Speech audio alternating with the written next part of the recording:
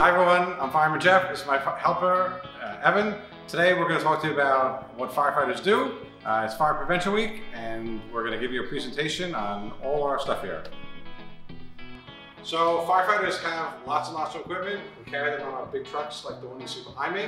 Um, sometimes we have to carry uh, big things like this. This is an axe. Sometimes we need to chop things up. So this is a firefighter's axe. Sometimes we have to go to calls in the dark. So we have these really bright flashlights, okay? Sometimes when we go into people's houses at night, it's really dark. Sometimes it's really smoky. So we have these really powerful flashlights so we can see in the dark.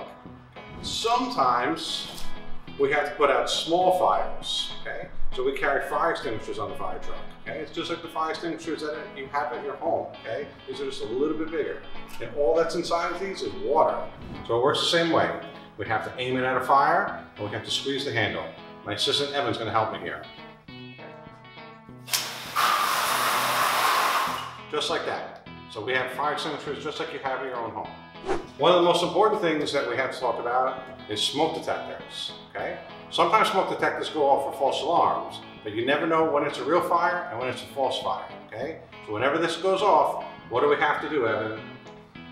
We have to leave the house. To leave the house, right? And then call 911. And then call 911. So we should always have a gathering place outside our house, whether it's near a car or a tree or a mailbox. But we always have to make sure that we exit together. Do we go back inside to get our pet fish? No. Do we go back inside to get our favorite stuffed animal? No. No, that's right. We always can replace that stuff. We won't, can't replace you though, correct? Yep. Okay, so when this goes off, what do we do? We leave the house. Good. Okay, so we're gonna make sure everyone knows what a smoke detector sounds like. Ready? One, two, three.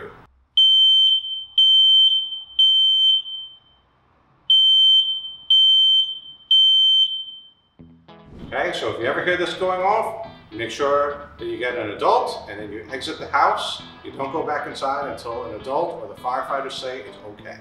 So firefighters have to wear lots of protective gear, whether it's winter or summer. We all this stuff to make sure that we're protected from heat and smoke and fire, okay? It's really heavy, it's really big, but it's to make sure that we're protected when we go to calls, okay?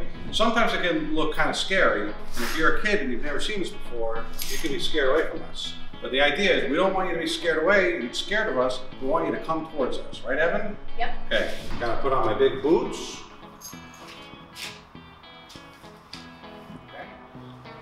I gotta pull up my pants, just like you put on pants at home. I got my suspenders. Why do I wear suspenders? It's so it doesn't fall off. Right, so my pants don't fall down. Okay.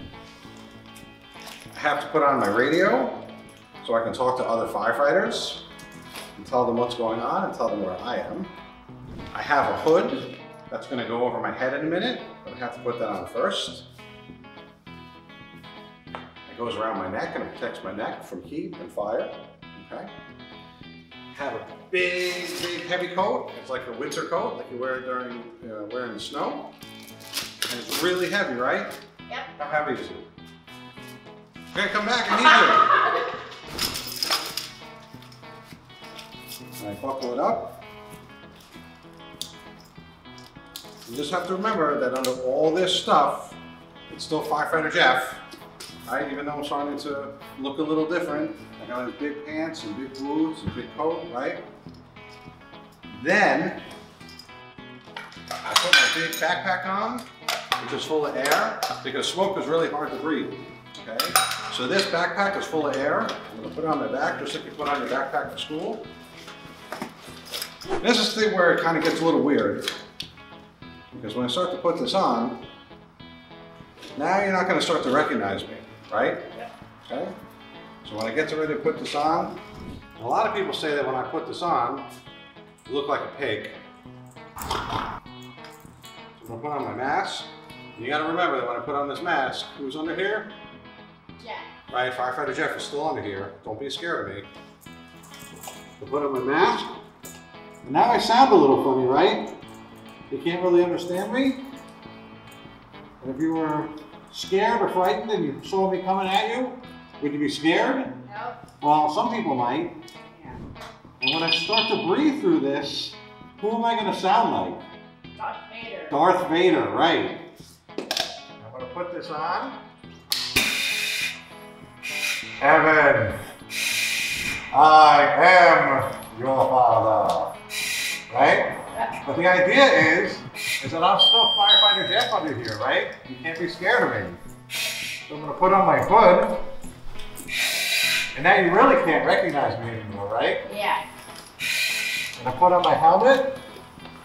Finally, I put on my Gloves. Right, I gotta protect my hands.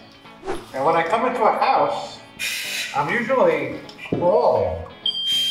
And I don't want you to run away from me. What do I want you to do?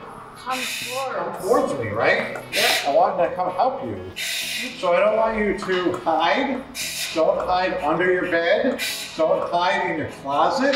You gotta come towards me, okay? Even though I look pretty scary right now, underneath it I am Firefighter Jeff. Right. I'm gonna take my hood off. I'm gonna take my mask off. And it's still just firefighter Jeff, Yep. okay? So the idea is, you don't want to be scared of the firefighters. You have to remember that under all of this crazy stuff, it's still just the firefighters coming to help you, okay? So don't run away from them, don't hide from them, don't be scared of them, they're coming to help you, okay?